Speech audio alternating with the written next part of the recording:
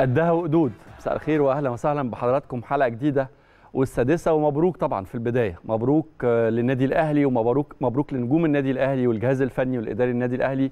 وقبل كل دول مبروك لجماهير النادي الأهلي في كل مكان. التأهل للمرة ال17 في تاريخ النادي الأهلي في مشواره في بطولات دوري أبطال إفريقيا. أرقام كتيرة جدا بتعكس حجم وقوة المارد الأحمر. على بساط ملاعب آه، أفريقيا. الحقيقة مش بس تخطي عقبة بشوفها هي الأصعب في مشوار الأهلي السنة دي في دوري أبطال أفريقيا لكن مكاسب كتير جدا. أهمها التوقيت لأنه قبل مواجهة سان داونز ما اخفيش على حضراتكم أنا وكتير من جماهير النادي الأهلي كنا شايلين هم كبير جدا في آه، آه، قبل المواجهة دي. كنا شايفين واللي متابعين دوري الأبطال من أوله شايفين قوة فريق سان داونز شايفين إنه واحد من أفضل الفرق على مستوى القارة كلها آه، في البطولة دي تحديدا. وكنا شايفين وكنت أنا شايف الحقيقة إنه مواجهة الأهلي لسان داونز هي نهائي مبكر للبطولة. كون إنه ده يحصل في ظروف آه، عانى فيها النادي الأهلي من مشاكل كتيرة جدا آه، ضغوط جماهيرية عدم رضا في أوقات كتيرة جدا على مستوى الأداء عدم تحقيق نتائج مميزة اتعودنا عليها في الدوري المحلي في ماتشات قدم فيها الأهلي عروض لا تليق باسم النادي الأهلي ولا بوصفه حامل اللقب لقب البطولة ولقب حتى دوري أبطال إفريقيا. وكنا مش مطمنين وكنا مش قلقانين خصوصا إن في كمان بعض اللاعبين اللي كانوا بيمثلوا آه، أعمدة أساسية في مشوار الأهلي في تحقيق الثلاثية كانوا بعاد شوية لأسباب مختلفة آه، أسباب فنية أو أسباب ليها علاقة بإصابات و إلى آخره. عشان كده الظروف دي تقول لحضرتك إنه الأهلي حاضر دايما في المناسبات الصعبة. وإنه روح الفانيلا الحمراء وإنه شخصية البطل عند النادي الأهلي تعوض أي أوجه قصور ممكن يقابلها النادي في مشواره. أثبتت أو أثبت الجيل ده وأثبت الجهاز الفني قبلهم مستر موسيماني والكلام عنه هيكون كتير في حلقة النهارده إنهم قد التحدي. وقدرة النادي الأهلي على تجاوز آه، سان داونز ميلودي سان داونز تقول إنه الأهلي إن شاء الله بإذن الله هو فرس الرهان وهو المرشح الأول للفوز بالبطولة. المواجهة اللي جاية مع الترجي وللأسف الشديد جدا في الطبيعي. كان ممكن أقول لحضرتك ريح ظهرك اسند ظهرك خد نفس طويل كده واستنى شهر عشان تحضر لمواجهة قبل النهائي في دوري أبطال إفريقيا. لكن دي مش القاعدة في النادي الأهلي. تقفل صفحة دوري الأبطال تفتح صفحة سوبر إفريقيا ومن بطل آه، وما بين بطل جنوب أفريقيا وبطل تونس مطلوب منك تواجه بطل الكونفدرالية نهضة بركان الأهلي إن شاء الله بيستعد لمواجهته يوم الجمعة الجاية في قطر في بطولة سوبر إفريقيا بطل أبطال الدوري أمام بطل الكونفدرالية. لوهلة كده جمعت مشوار النادي الأهلي وسيب حضراتكم من كم البطولات. معروف جدا ده قدر النادي الأهلي وقدر لعيبة النادي الأهلي إنك أنت تلف كده يعني زي النحلة ما بتونش من بطولة لبطولة من بطولة لبطولة من دوري لمونديال لدوري أبطال وترجع دوري أبطال في نسخة جديدة عشان تلعب سوبر أفريقيا وترجع تكمل دوري أبطال. صفحات ورا صفحات ومطلوب منك تركيز كامل مطلوب منك تقدم أعلى مستوى من الأداء مطلوب منك ثبات في التركيز كل ده مطلوب منك طول ما أنت لابس فانيله النادي الأهلي. لكن لوهلة وسيب حضراتكم تاني من أسماء مسميات البطولات اللي الأهلي شارك فيها.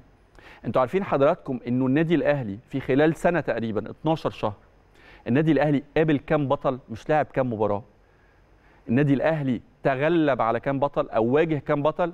بدون كده ما نفكر وبدون ما نعمل حسابات النادي الأهلي هو النادي الوحيد اللي على مستوى العالم قابل أبطال أندية في أربع قارات مختلفة. قابلنا أبطال من أمريكا الجنوبية قابلنا أبطال من أوروبا قابلنا- أبطال من آسيا وقابلنا بالتأكيد أبطال من أفريقيا في مباريات رسمية. النادي الأهلي هو النادي الوحيد اللي على مدار سنة آه، أخيرة ما دخلش بطولة إلا وحقق فيها إنجاز. سواء كنا بنتكلم عن بطولات محلية أو بطولات قارية أو بطولات عالمية وإن شاء الله بإذن الله يكتمل الإنجاز بالفوز بلقب سوبر إفريقيا. كلام كتير جدا عن الأهلي وكلام كتير عن موسيماني ومن اللحظة اللي قفلنا فيها صفحة سان داونز نفتح فيها صفحة نهضة بركان. أنا عارف إنه ناس كتير جدا مهتمة تسمع عن الأهلي والترجي. برضو بعتبره لقاء محترم وهتكلم لأن أنا تابعت ماتش امبارح بين الترجي وبين شباب بلوزداد. أه هتكلم بالتفاصيل. بس طبعا صفحة نهضة بركان هي الأهم وهي الأقرب وهي اللي مطلوب مننا كلنا نركز فيها. خلينا نروح لفاصل نرجع لكم بكل التفاصيل في السادسة. شكرا بيتسو.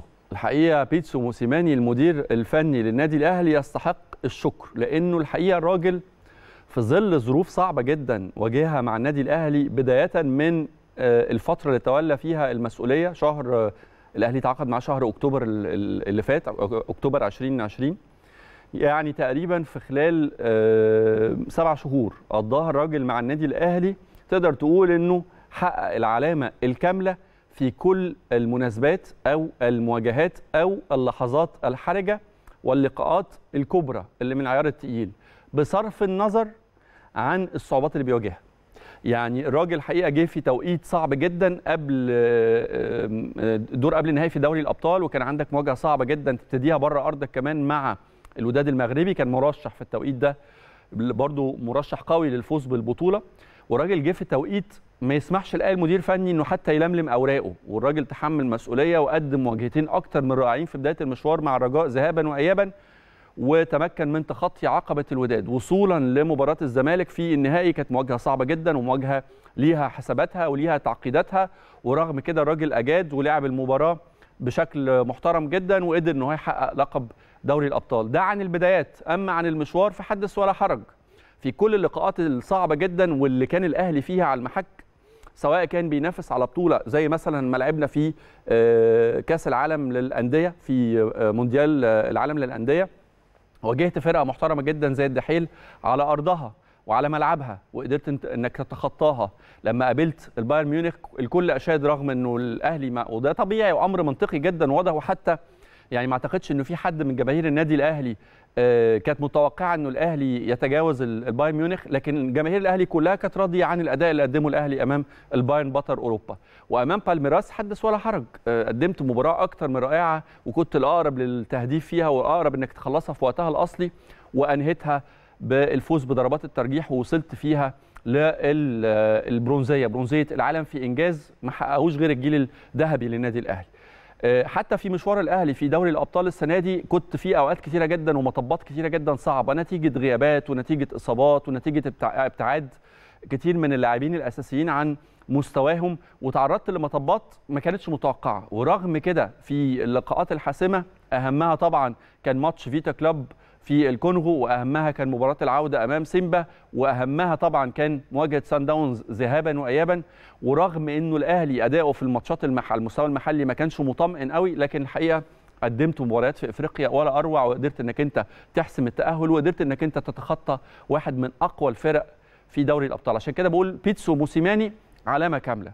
بيتسو موسيماني كل الاحترام والتقدير. خدوا بال حضراتكم كمان إنه في نقطة بتهيألي هتفرق كتير جدا مع النادي الأهلي إن شاء الله بإذن الله مع ال season القادم. يعني إذا كللت مسيرة موسيماني مع الأهلي ال season ده أو الموسم ده بنجاح أنا بيتهيألي ان الراجل اللي كان جاي عمياني وبيحاول يتحسس أو يكتشف كده عناصر القوة والضعف في فرقته بيسمع ويشوف ويتابع ويقيم النهارده حاطط ايديه بشكل واضح جدا على إمكانيات لعيبته وعارف كويس جدا شكل الفرقة وشكل ونوع وحجم التدعيم اللي ممكن تكون محتاجاه في الموسم الجاي. ومن الموسم الجاي أعتقد إنه نظرية موسيماني رؤية مستر موسيماني مع الأهلي تبقى كاملة والحساب يكون نتيجة الرؤية دي. يعني الراجل بيشتغل في حدود المتاح خلينا نتفق على كده. الراجل جه تسلم المسؤولية الوضع كان قائم على رؤية مستر فايلر قبل ما يمشي. الراجل جه تسلم المسؤولية وقدم كل المطلوب منه بنجاح. يعني بشهادة كل الناس الراجل نجح في بالأرقام حتى بصرف النظر عن التقييم اللي هو أنا عجباني كره الأهلي لا أنا مش عجباني كره الأهلي لا أنا عايز أحسن. يعني ده حاجات نتفق أو نختلف عليها أمور نسبية زي ما بنقول. لكن بالأرقام موسيماني علامة كاملة. وبالتالي أعتقد إنه لما ياخد حريته ويقدر يقيم شكل الفريق ويقدر يبني الفريق اللي ممكن ينقله السيزون جاي إن شاء الله لو استمر مع النادي الأهلي أعتقد كرة الأهلي مع موسيماني ممكن تبقى في حتة تانية خالص. على كل الأحوال أخدكم للتفاصيل. ومعانا النهارده كلام كتير. خليني أقول لحضراتكم بداية طبعا إنه استعداد الأهلي لمباراة خليني أفكركم بس الأول أو مهم قبل ما أدخل في الأخبار إنه على صفحاتنا طبعا زي ما اتعودتم صفحات الأهلي تي في على مواقع التواصل الاجتماعي المختلفة على الفيسبوك وعلى انستجرام وعلى تويتر. مطلوب من حضراتكم طبعا تختاروا أفضل ثلاث لاعبين من وجهة نظركم. فرقة أجادت امبارح الحقيقة بتلعب فريق كبير جدا على أرضه عنده الدافع وعنده الحافز عنده شخصية البطل ورغم كده تهيألي هدف ياسر إبراهيم ريحنا بشكل كبير جدا. ولولا الهدف ده كان ممكن تبقى المباراة أكثر تعقيدا. لكن أنا بيتهيألي إنه الهدف ده وده اللي أنا كنت بتمناه. أنا لما اتسألت في السادسة أكتر من مرة نفسك في إيه قلتش غير إنه عايز الأهلي يسجل هدف مش عايز أكتر من كده. تسجيل هدف ياسر إبراهيم رفع معنويات لعيبه النادي الأهلي هدى حالة التوتر خلينا أقرب بشكل كبير جدا للتأهل والعكس الصحيح ده صدر أكتر حالة توتر وحالة صعوبة كبيرة جدا أثرت بشكل كبير جدا على سان داونز وعلى كورتو اللي ظل لغاية اللحظات الأخيرة خطير وقريب من النادي الأهلي لكن طبعا نجومنا كان ليهم الأفضلية وقدروا يحسموا بطاقة التأهل لقبل النهائي. فعشان كده حضراتكم تختاروا أفضل ثلاث لاعبين طبعا من وجهة نظركم في مباراة النادي الأهلي أمام سان داونز مباراة العودة في بريتوريا. طيب آه زي ما قلت لكم الأهلي النهارده إن شاء الله آه يوصل قطر تقريبا يوصل على الساعة 12 واحدة بالليل بتوقيت القاهرة رحلة طويلة طبعا آه من جوهانسبرج لقطر. يمكن الطيارة هتنزل بس ترانزيت هنا في أسوان وبعد كده تكمل رحلتها إن شاء الله ورحلة طويلة برضو. لكن كويس إنه عشان يعني توفيرا للوقت وتقليلا للمجهود حضراتكم عارفين إنه فكرة السفر في حد ذاتها مرهقة. أنت بتتكلم على في 48 ساعة تضرب مشوار من أقصى شمال القارة لأقصى جنوبها 12 ساعة رحلة طيران وفي 48 ساعة تروح رددهم مرة ثانية يعني شيء شيء عنيف جدا. وتبقى مطالب من بين ده وده إنك تلعب مباراة بطولة هنا مع سان داونز وإنك تسافر تلعب مباراة بطولة مع بطل كونفدرالية أفريقيا نهضة بركان. شيء بيأثر بالتأكيد على الناحية البدنية بشكل كبير جدا. لكن كويس الأهلي مسافر بدري. قرر طبعا قرار يحسب لإدارة النادي الأهلي إنها تسافر direct بدل ما ترجع هنا القاهرة وبعد كده يبقى في رحلة ثانية من القاهرة لقطر إن إحنا نسافر direct من جوهانسبرج على قطر عشان يبقى في فترة راحة ويبقى مسافرين بدري يبقى في حالة تأقلم على الأجواء في قطر. ونبقى إن شاء الله بإذن الله جاهزين لماتش السوبر.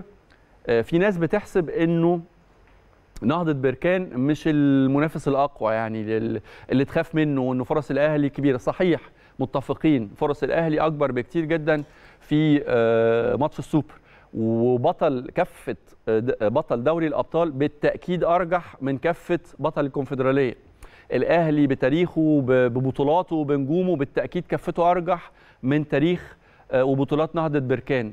شكل المسابقة في الدوري المحلي وموقف الأهلي المتصدر حتى رقميا أو حسابيا في البطولة حتى اللحظة اللي بنكلم حضراتكم فيها أقوى بكتير جدا من موقف نهضة بركان اللي بعتقد إنه بيحتل مركز سادس أو سابع وقدم موسم متوسط. متهيألي إنه لعب حوالي 20 ماتش كسب ستة وخسر سبعة وتعادل في النص. فبالتالي كل المعطيات بتصب في صالح النادي الأهلي لكن ابدا ابدا دي مش معطيات دقيقة أو نهائية. ماتش السوبر ليه حسابات مختلفة. والماتشات أو البطولات اللي بتحسم من مواجهة واحدة يعني حتى ما فيهاش ذهاب وإياب ما فيهاش فرصة للتعويض بتبقى دايما على المحك. وشفنا حاجات كتيرة جدا بتحصل مش بس عندنا في بطولات أفريقيا حتى في البطولات العالمية وفي دوري أبطال أوروبا إن فرقة بتخسر وما بتعرفش تعوض تاني وبالتالي الماتشات دي بتخوف. بيبقى ليها طريقة استعداد وطريقة تحضير مختلفة نوعا ما. وبالتأكيد نهضة بركان مش مش مسافر عشان ياخد مركز تاني. عنده طموح وطموح مشروع جدا إنه يخطف اللقب من النادي الأهلي. من جوهانسبرج ابتدى التحضير. يعني مستر موسيماني الحقيقة يمكن من قبل ما الطيارة بتاعت النادي الأهلي تتحرك من جنوب أفريقيا كان ليه اجتماع مع الجهاز المعاون عشان يبتدوا مرحلة التحضير لمواجهة نهضة بركان بطل المغرب وبطل الكونفدرالية. وطبعا مستر موسيماني مركز وفاتح طبعا رفض تماما أي كلام على ماتش ماتش الأهلي مع أو مواجهة الأهلي مع الترجي التونسي في دوري الأبطال. وقال أنا ما بفكرش تماما في دوري أبطال أفريقيا. كل تفكيري وكل تركيزي في الفترة اللي جاية على ماتش نهضة بركان إن شاء الله اللي هيتلعب يوم الجمعة. بطولة مهمة جدا. الأهلي أعتقد هو صاحب رصيد كبير فيها. إحنا حققنا البطولة دي ست مرات وإن شاء الله بإذن الله تضاف وتحسب للأهلي وتحسب لموسيماني وتحسب للجيل ده من اللاعبين إضافة بطولة جديدة من خلال طبعا التفوق على نهضة بركان في بطولة سوبر إفريقيا. في كمان رسالة مهمة جدا الحقيقة وجهها وخدوا بال حضراتكم دي واحدة من الحاجات اللي بتحسب للجيل ده وبتحسب لمستر موسيماني أو الجهاز الفني اللي تولى المسؤولية إنه كل اللي بيحصل من نتائج وكل اللي بيحصل من بطولات بيحصل في غياب عامل مهم جدا جدا جدا ودافع قوي جدا جدا جدا لتحقيق البطولات وهو غياب الجماهير عن المدرجات. وما أدراك ما معنى وجود جماهير النادي الأهلي في مدرجات المباريات اللي بيلعبها النادي؟ وقد إيه على مدار تاريخ طويل جدا. كان الأهلي متأخر أو كان الأهلي متعثر أو كان الأهلي بيقدم أداء ومردود مش مرضي وقدرت الجماهير دي إنها تكون اللاعب الأول فعلا. فكرة انه الجمهور هو اللاعب الأول اللاعب رقم واحد دي مش ده مش مصطلح. لا جماهير النادي الأهلي عندها القدرة إنها تحرك الحجر. وياما ماتشات كتيرة جدا وخصوصا ماتشات صعبة كان الجمهور فيها عامل أساسي في إن الأهلي يكسب الماتشات دي. فالجيل ده الحقيقة مظلوم والجهاز الفني كمان مظلوم إنه قوة الدفع الجماهير في المدرجات مش موجودة. لكن الحقيقة هم وجهوا رسالة شكر لجماهير النادي الأهلي وقالوا كمان إن كل رسائل الدعم حتى اللي بتوصل ليهم عن طريق ال social media واصلة لهم وبتمثل لهم دافع كبير جدا عشان يكسبوا الماتشات والمواجهات المهمة. وعلى فكرة بالمناسبة الكلام عن رحلة جوهانسبرج في مطار جوهانسبرج يعني لقطر عايز أقول لحضراتكم إنه في عدد كبير جدا من الجالية المصرية وجماهير النادي الأهلي وبعض الجماهير كمان الأهلي في جنوب أفريقيا كانوا حريصين على التواجد في المطار وال يعني خدوا صور مع نجوم الفريق وخدوا صور مع بيتسو موسيماني في رحلة سفرهم طبعا لقطر عشان السوبر الأفريقي. طبعا كابتن الخطيب ويمكن كتير من اللاعبين وجهوا رسالة شكر للكابتن الخطيب والجماهير حتى اللي كانت موجودة في المطار رفعت يعني لافتات ايدوا فيها كابتن الخطيب وبعتوا بيها رسائل زي ما حضراتكم شايفين. دي رسالة من جماهير الأهلي في جنوب أفريقيا. كلهم الحقيقة كانوا حريصين على وداع الفرقة في مطار جوهانسبرج طيب آه في بعض الجماهير ودي برضو من لقطات مؤمن زكريا في القلب دايما الحقيقة في بعض الجماهير كانت حريصة إنها زي ما حضراتكم شايفين كده إنها تحتفل بنفس الطريقة اللي كان بيحتفل بيها كابتن مؤمن زكريا بإحرازه الاهداف بقى تقليد كده مش بس نجوم الكره في الملاعب حتى الجماهير. بمناسبة ماتش سان داونز عشان نقفل الصفحة دي طبعا النهارده رسميا نادي سان داونز قدم اعتذار رسمي للنادي الأهلي بسبب بعض يعني محاولات الخروج على النص في بعض الأوقات من جماهير ومؤيدي سان داونز اللي تعرضوا لحافلة النادي الأهلي وكتبوا في البيان بتاعهم إن طبعا نادي ماميلودي سان داونز بيرفض بشكل قاطع زي ما حضراتكم شايفين دي طبعا ده نص البيان الرسمي اللي خرج النهارده بيرفض بشكل قاطع كل أنواع الخروج عن النص والتعصب والهتافات البذيئة اللي صدرت في حق النادي الأهلي وقال كمان إنه كلف المسؤولين بالتحقيق في الشكوى اللي تم تقديمها وتعقب المخالفين والتحقيق معاهم. مش بس مش بس ماميلودي سان داونز الحقيقة طبعا شكرا على نادي على على البيان اللي صدر من ماميلودي سان داونز. لكن كمان اتحاد جنوب أفريقيا أصدر بيان كمان برفضه لكل محاولات الخروج على النص وال والاعتداء اللي تم على حافلة النادي الأهلي وأكد إنه هيتم التحقيق في الموضوع. طيب نروح ل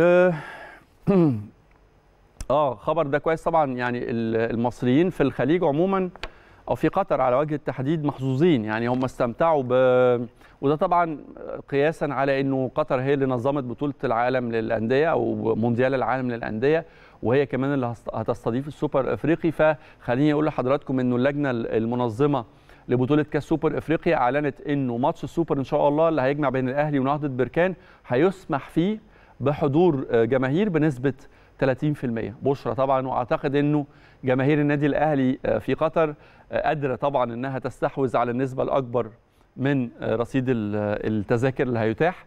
نسبة 30% هي نسبة الحضور زي ما قلت لحضراتكم في المباراة. وأعتقد هيكون واحد من العوامل والدوافع اللي يعني تشجع لاعبتنا إن شاء الله على إن هم يحسموا لقب سابع يضاف لخزائن النادي الأهلي في بطولة سوبر إفريقيا. نروح لصحف جنوب أفريقيا. طبعا يعني معظم الصحف الجنوب أفريقية سلطت الضوء مش بس كمان على تأهل النادي الأهلي على حساب السان داونز ولكن كمان على قدرة بيتسو موسيماني في قياده النادي الأهلي لتخطي عقبة سان داونز آي أو إل واحدة من الصحف الجنوب أفريقية اللي قالت إنه موسيماني يقود النادي الأهلي للتخلص من سان داونز في دوري أبطال إفريقيا وتايمز لايف قالت إنه الأهلي بيتخطى سان داونز لنص نهائي دوري الأبطال. أما صحيفة سيتيزن الجنوب أفريقية فقالت الأهلي وموسيماني يعبران لنصف النهائي على حساب سان داونز موقع سبورت 24 قال غيوب غروب شمس سان داونز في دوري أبطال إفريقيا بعد التعادل مع الأهلي. أما صحيفة كيك اوف فقالت موسيماني يقود الأهلي لإقصاء سان داونز من دوري الأبطال. بالتأكيد فوز مهم جدا رسالة مهمة جدا لكل لاعب في النادي الأهلي إنه أنت ما زلت عندك رغم الإجهاد ورغم توالي المباريات اللي عانينا منها ورغم إنه في لاعبين كانوا مصابين ولسه ما استعادوش مستواهم بنسبة كاملة شكرا محمد هاني شكرا أيمن أشرف كنتوا رجالة. آه مش نفس الفورمة ومش نفس الأداء اللي اتعودناه منكم قبل الإصابة لكن الحقيقة في الظروف اللي بيمر بيها النادي الأهلي شكرا جدا كنتم رجالة. كل لعيبة النادي الأهلي الحقيقة كانت رجالة. محمد شناوي علامة كاملة آه أليو ديانج آه علامة كاملة محمد شريف حاول وحاول وحاول طاهر. أعتقد إنه الهدف اللي أحرزه في مباراة الذهاب كان مفتاح الفوز اللي اتحقق ومستنيين منك كتير. كل رجالة الأهلي عمرو السولية بدر بنون ياسر إبراهيم أكتر من رائع وياسر بالذات من اللعيبة اللي حاضرة. يعني اللي يبص لأجوال ياسر كده هيلاقي إنه دايما في الماتشات المهمة الماتشات اللي نتيجتها تخلص بجول أو باتنين الماتشات مع الفرق الكبيرة ياسر إبراهيم دايما حاضر. الحقيقة كل اللعيبة كانت أكتر من رجالة. اللي يتفق معايا إنه الخمسة دول ليونيل ميسي كريستيانو رونالدو كيليان امبابي محمد صلاح نيمار هم أفضل خمس لاعبين في العالم اللي يتفق معايا على المبدأ ده. خليني أقول لك انه ولا واحد من الخمسة الكبار حقق بطولة الدوري السنة دي أو حقق بطولة على أقل تقدير. يعني لا كريستيانو رونالدو مع اليوفي حقق بطولة. لا ليونيل ميسي مع البارسا حقق بطولة.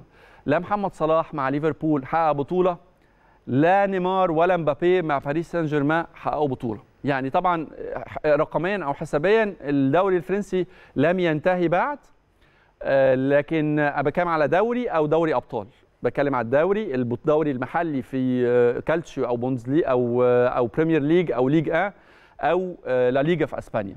أو وصول لدوري أبطال والفرق دول كلهم الحقيقة متعودين نشوفهم على أقل تقدير قبل نهائي ونهائي. بكلمكم على البارسا بكلمكم على البي اس جي بكلمكم على اليوفي كل الفرق بكلمكم على ليفربول. فكل الفرق دي في الفترة الأخيرة كانت حامل لقب كانت وصيف. السنة دي كله خرج خالي الوفاض.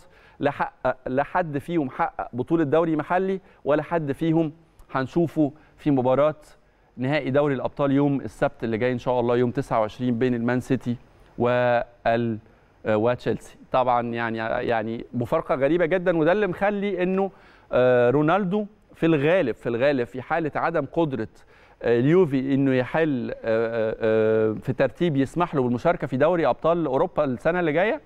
فغالبا غالبا وحسب تقرير نشرته صحيفة لا ريبابليكا في إيطاليا قالت إنه إذا فشل اليوفي في التأهل لدوري أبطال فغالبا الصيف اللي جاي هيكون ميعاد مغادرة كريستيانو رونالدو.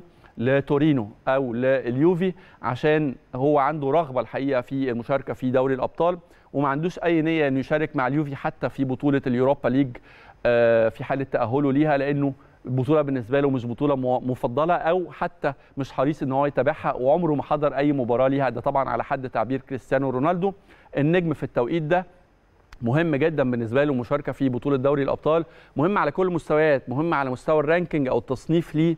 على مستوى العالم مهم على مستوى الفوز ببطولات أو بألقاب شخصية. كل ده بيهم نجم كبير جدا بحجم كريستيانو ويهم النجوم الكبار التانيين لأنه بالمناسبة في كلام كتير جدا على إنه محمد صلاح مرشح لإنه ينضم للبي اس جي كيليان إمبابي مرشح إنه ينضم لليفربول. ميسي أكد خلاص بقائه في البارسا وبالتالي معالم الانتقالات ممكن تحسمها بشكل كبير جدا مشاركات الأندية دي في دوري الأبطال. بالمناسبة في اللحظات اللي إحنا بحضراتكم بنكلمكم فيها ليفربول عامل أنا بشوفها ريمونتادا كبيرة جدا لأنه حتى اللحظة دي هو متفوق على كريستال بالاس بنتيجة 1-0 ده يخليه يحتل مباشرة الترتيب رقم ثلاثة في جدول البريمير ليج وده يسمح له بشكل مباشر طبعا في المشاركة في دوري أبطال أوروبا السنة الجاية. وأعتقد دي ممكن تكون عنصر حاسم جدا في قرار صلاح بالبقاء والاستمرار مع ليفربول أو مغادرة الأنفيلد لوجهة لا يعلمها إلا الله. فاصل ونرجع لحضراتكم على طول. يسوى بصراحة أكتر من كده بكتير، واحد من من أهم ده رأيي الشخصي وما زلت بأكد عليه، واحد من أهم الصفقات في الأندية المصرية عموما مش بس بتكلم عن النادي الأهلي في السنوات الأخيرة. وبشوفه واحد من أهم اللاعبين المحترفين اللي جم مصر. لاعب بإمكانيات أكتر من رائعة. وأعتقد إنه مستواه تطور بشكل كبير جدا مع النادي الأهلي. أعتقد كمان إنه بفوزه ب أنتوا عارفين حضراتكم اللي متابعين معانا استفتاء الجماهير على أفضل لاعبي النادي الأهلي في كل مباراة عارفين إنه ديانجي بيحتل صدارة الترتيب برصيد 23 نقطة وكان لاعب شهر أربعة الأخير بسبع نقاط ولغاية اللحظة دي يمكن هو الأكثر تفوق بين لاعيبه النادي الأهلي في مباريات شهر خمسة. بفكركم على صفحاتنا تختاروا أفضل ثلاث لاعبين في ماتش سان داونز الأخير. هنروح ألمانيا. ونتكلم على الدوري الألماني وبنتكلم على وبالمناسبة الحقيقة يمكن في الفترة اللي جاية اللي بيحبوا الكورة طبعا على مستوى العالم كله. عندنا الأولمبيكس عندنا في طوكيو عندنا ماتشات كأس أمم أوروبا. عندنا طبعا إن شاء الله بإذن الله إن شاء الله إن شاء الله بدون مقاطعة تأهل الأهلي لنهائي دوري الأبطال اللي هيكون في شهر يوليو. فسبعة وثمانيه يعني إن شاء الله بإذن الله نتمتع بكرة عالمية. هيكون معانا من خلال video conference فلوريان بليتنبرج الصحفي الألماني الصحفي بشبكة سبورت 1 الألمانية. بداية طبعا برحب بيك على شاشة النادي الأهلي. وخليني أسألك في البداية على تتويج لقب بايرن ميونخ بلقب الدوري الألماني. أنا أنا واحد من عشاق ومشجعي البايرن لكن سؤالي الأول هيكون سيطرة مطلقة الحقيقة والبايرن يغرد منفردا في الدوري مسابقة الدوري الألماني. هل بتشوف إنه ده نوعا ما ممكن يكون بيأثر سلبا على قوة البوندسليجا؟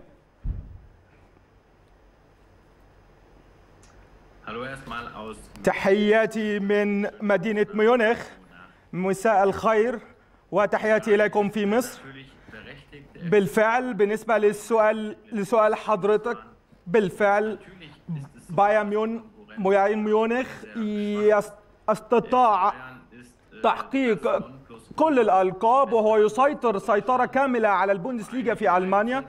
أعتقد أن هناك فرق قوية مثل لايبتسيج باير ليفركوزن. هناك فرق قوية ولا وعندما نقارن جودة اللاعبين والإدارة والمنظومة مع بايرن ميونخ فهناك فرق كبير فرق شاسع. لذلك يستطيع بايرن ميونخ السيطرة الكاملة على تحقيق الألقاب والبوندس ليغا وأيضا ما نراه في الشامبيونز ليج وما حققه من إنجازات. رغم كل ذلك نرى أيضا أن هناك بعض التغيرات مع رحيل المدرب الحالي فعلا البايرن ميونخ هو الأقوى. طيب يمكن إحنا بنحب البايرن أو البايرن ليه مشجعين كتير في مصر بسبب الكورة والنجوم طبعا اللي بيلعبوا باسم بايرن ميونخ. لكن في بعض الأندية كمان ليها نصيب من الشعبية لأنه كان في نجوم مصريين بيلعبوا فيها زي كايزر سلاوترن زي بروسيا دورتموند زي فيردر بريمن. وده يخليني أسألك عن يعني خروج أو سقوط فرقتين ليهم تاريخ كبير جدا في الدوري الألماني وخروجهم من الدوري الممتاز. هم فريق شالكي وفريق فيردر بريمن. من وجهة نظرك إيه هي الأسباب اللي أدت للخروج ده؟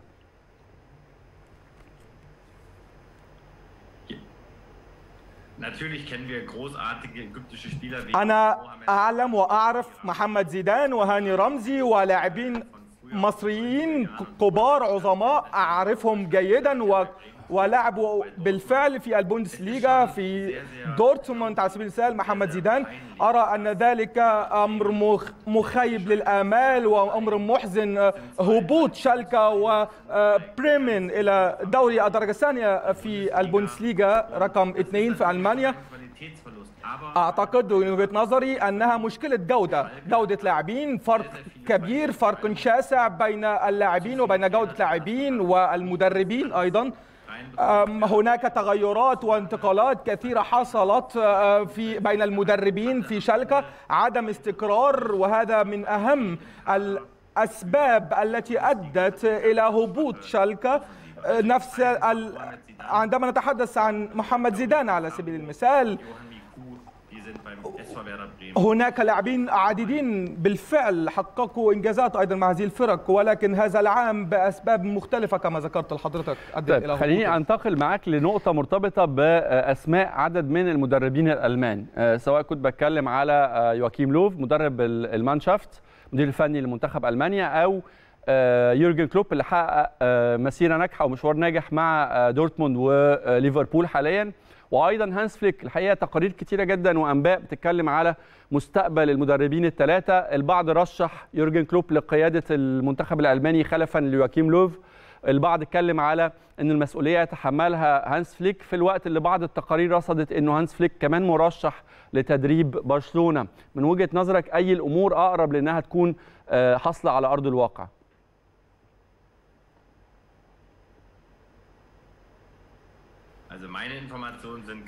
طبقا لمعلوماتي برشلونه وتوتنهام ويوفنتوس تحدثوا بالفعل مع مع هانز فليك عن طريق بعض الاعلاميين وبعض المسؤولين أنا اعتقد ان هناك كلام كثير في ألمانيا ولكن اعتقادي وطبقا لمعلوماتي هانز فليك سوف يمضي عقده في الفترة المقبلة مع المنتخب الألماني. سوف يقوم بتدريب المنتخب الألماني وأنا أؤكد ذلك لأني متابع جيد لهذا الملف. هانز فليك هو المرشح الأقوى للمنتخب الألماني بكل تأكيد. طيب إذا كان وقتك يسمح يعني بالانتظار معانا تسمح لنا هنروح لفاصل سريع جدا ونرجع نتواصل معاك مرة ثانية من خلال السادسة على شاشة الأهلي. مرة تانية برحب بحضراتكم في السادسة وهنكمل حوارنا من خلال video conference مع فلوريان بليتنبرج الصحفي الألماني بشبكة سبورت وان. يعني يمكن كنا بنتكلم على المدربين الألمان في الفترة الأخيرة وكلامي هيستمر معاك عن المانشافت أو المنتخب الألماني في الفترة اللي جاية. ودايما عودت عودتنا ألمانيا وعودنا المنتخب الألماني على إنه مرشح بارز ومهم جدا في أي بطولة دولية بياخدها. خليني آخد رأيك وتوقعاتك كمان لمشاركة المانشافت في بطولة كأس أمم أوروبا.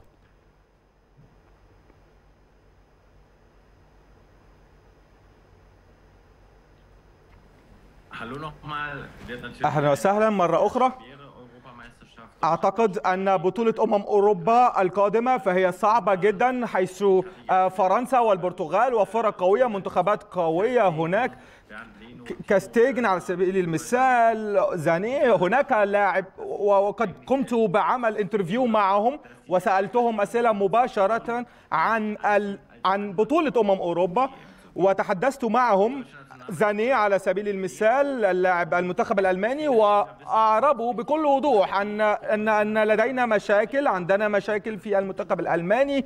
هناك عدم استقرار فلا نتوقع الكثير كإنجازات أو نتائج قوية في بطولة أمم أوروبا القادمة. ستكون قوية بالفعل. لا أتصور أن المنتخب الألماني رغم أن المنتخب الألماني يمتلك لاعبين جيدين توماس مولا جنابري ساني هناك لاعبين أقوياء لاعبين يلعبون من أجل البطولات بكل تأكيد ولكن الأمر والتوقعات صعبة للغاية. طيب أنتقل معاك بقى للكلام على الانتقالات. في ظل موسم كان صعب موسم مرتبك من الناحية الاقتصادية لكثير من الأندية الأوروبية في كلام عن بعض الانتقالات المرتبطة بنجوم الدوري الألماني. يعني في بعض التقارير رصدت مثلا إنه ده هيكون الموسم الأخير لديفيد ألابا نجم طبعا بايرن ميونخ مع الفريق البافاري وإنه في طريقه الانتقال غالبا لفرقة ريال مدريد. في كلام أيضا على إنه في كتير من الفرق حاطة تحت عينيها متابعة متابعة لنجم بروسيا دورتموند إيرلينج هولاند وإن هم متوقعين إن هو ينتقل ويكون ده برضو الموسم الأخير. اتكلمني على أهم الصفقات سواء اللي هتغادر البوندسليجا أو المرشحه إنها تنضم لفرق ألمانية في الموسم القادم.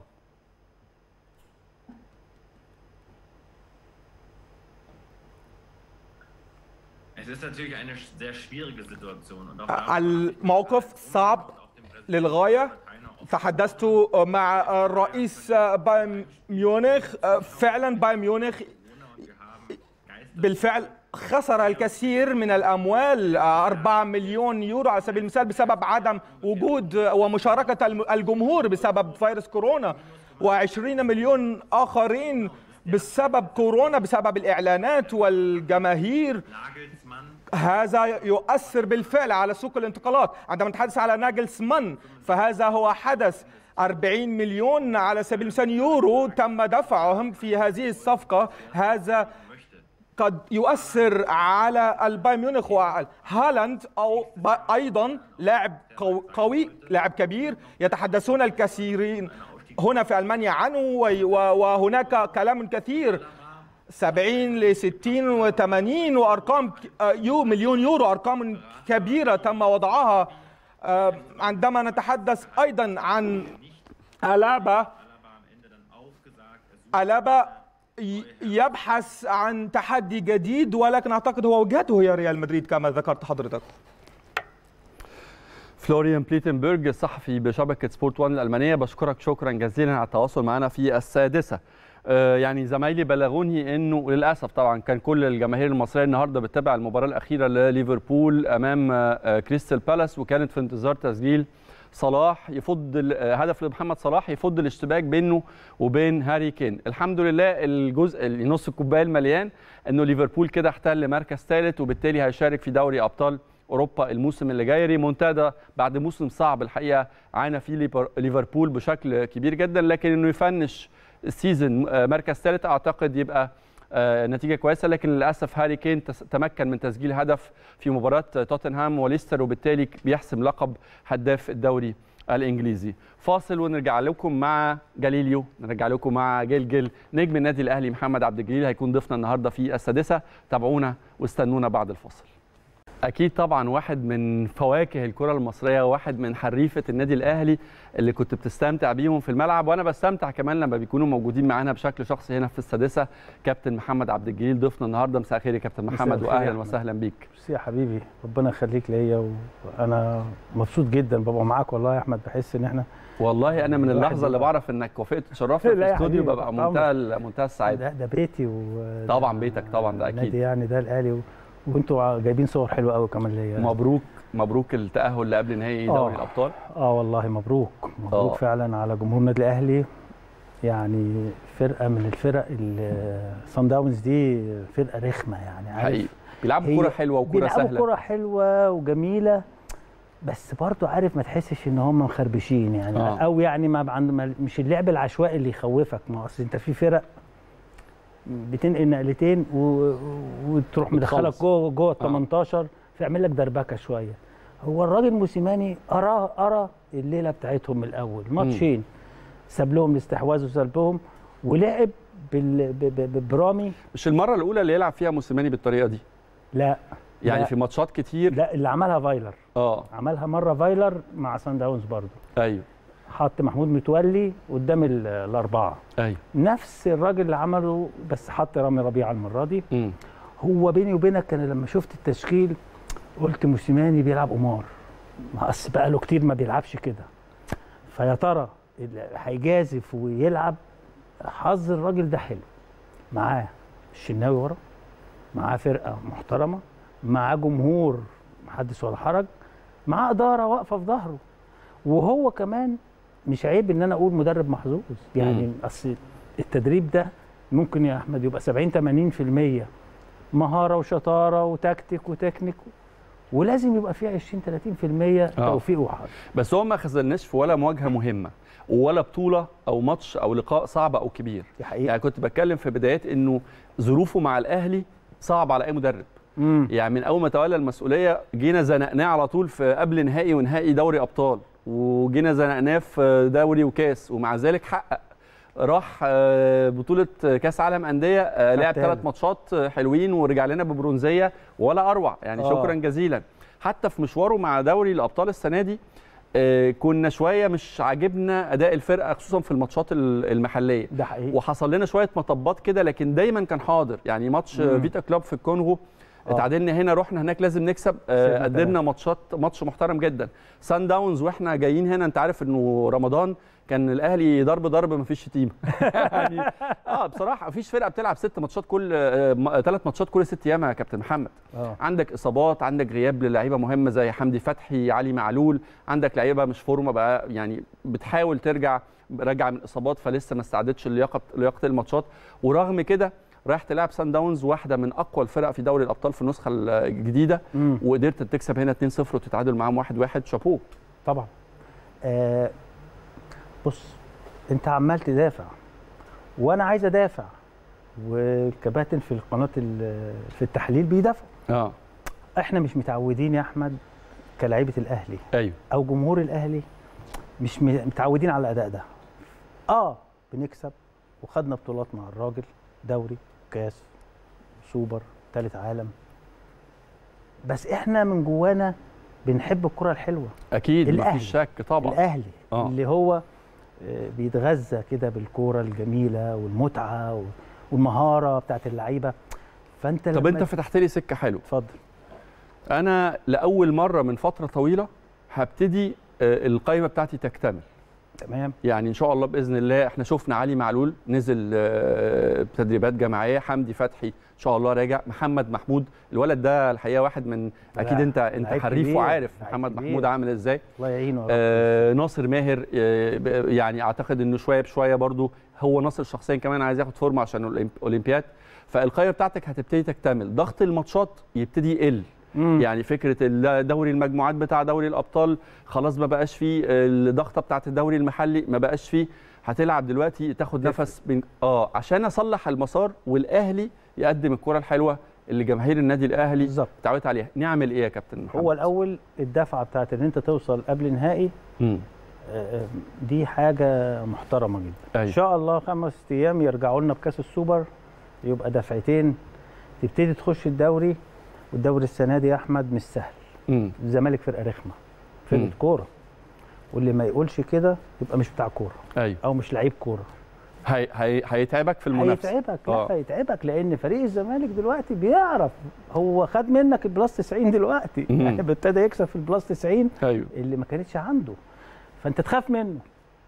إنما الأهلي معروف إن هو في الزناقات هيعدي.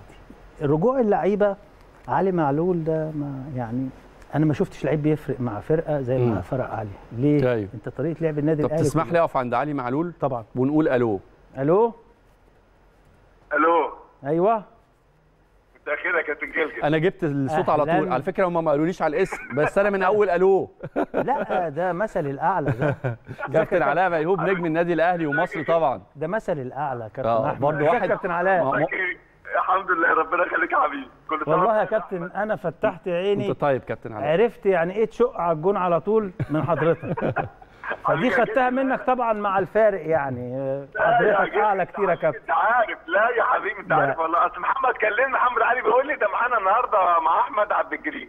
حبيبي. انت عارف أنت من الناس اللي أنا بحبها جدا. يعني بره الملعب وجوه الملعب وكنت لعيب طبعا. يا رب يخليك يا كابتن. أه والله بحب أتفرج عليك. ولما طلعت معانا يعني انت كنت اخويا الصغير يعني يا كابتن ده شرف ليا إن حضرتك تقول عليا كده لا يعني- والله يا عبد الجليل ده انت لا يا حبيبي انت لعيب كنت هايل ما شاء الله يعني. لما طلعت كان بس ال- ال- ال- الواد عادل عبد الرحمن بيحشر نفسه معانا ليه يا كابتن؟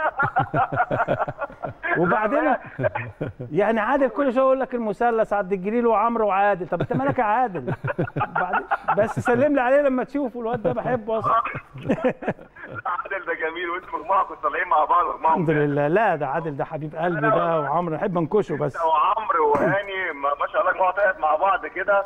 حبيبي يا هو ده كابتن. هي دي النادي الأهلي يا جلجل. أنا كنت أنا بتكلم عن النادي الأهلي دلوقتي. هو ده النادي الأهلي. صح صح. إحنا طلعنا كده. يعني إحنا كنا صغيرين لما كان اللعيبة الكبيرة كانت تتفرج علينا وتتكلم علينا كلمة حلوة. الواحد بيبقى مروح البيت مش يعني مش عايز أقول لك الفرحة عاملاه إزاي.